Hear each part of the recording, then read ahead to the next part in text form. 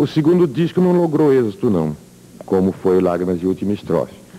Foi a valsa apoteose do amor e não foi por amor, não logrou êxito. Mas o terceiro, sim. Esse foi uma bomba, tanto faz um lado quanto o outro. Chora cavaquinho, chora, chora violão também. Amor foi embora, deixando saudade em alguém.